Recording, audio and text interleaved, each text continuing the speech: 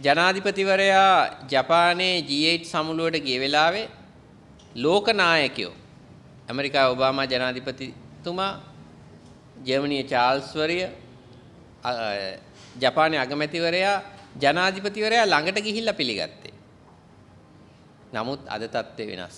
අද ලෝකේ නායකයෝ ජනාධිපතිවරයා ළඟට ගිහිල්ලා පිළිගන්නේ නැහැ. මේ ප්‍රශ්නේ ජනාධිපතිවරයාත් සමග ගිය අවුරුද්දේ ජපානයේ සංචාරයේදී මතක් කරලා දුන්නා ජනාධිපතිතුමනි අද එහෙම වෙයිද?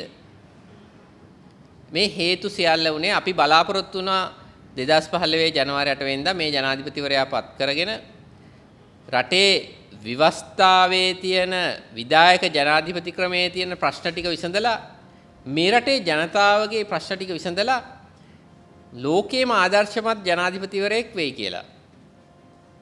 නෙල්සන් මැන්ඩලා දකුණු අප්‍රිකාවේ ජාතික වීරයෙක් වගේම ලෝකයේ වීරයෙක් වුණා වගේ අපි බලාපොරොත්තු වුණේ මෛත්‍රීපාල සිරිසේන කියන්නේ මේ කලාපේ මේ යුගයේ තමන්ට තිබුණ බලතල අහිමි තමන් විසින්ම අයින් කරගත්ත ජනාධිපතිවරයෙක් වෙලා ඒ වගේම ප්‍රතිසංස්කරණ කරලා ලෝකේටම ආදර්ශමත් වුණ නායකයෙක් වෙයි කියන බලාපොරොත්තු අපේ හදවත්වල තිබුණා.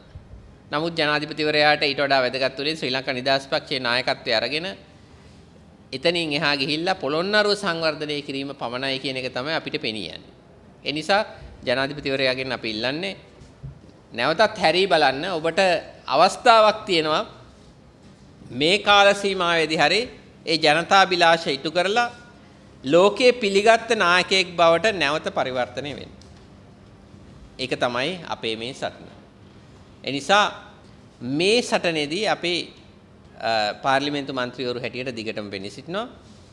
ඒ නිසා අපිට පැහැදිලිම දැක්මක් තියෙනවා රටේ ආර්ථික ප්‍රතිපත්තිය ගැන. ඒ ආර්ථික ප්‍රතිපත්තිය හරහා අපිට විශ්වාසය තියෙනවා අප්‍රේල් 5 වෙනිදා ආණ්ඩුවේ අයවැයේ තෙවනවර කියවීමේදී මීටත් වඩා වැඩි ඡන්ද ප්‍රමාණයකින් ජයග්‍රහණය කරන්න ලැබෙනවා. ස්තුතියි.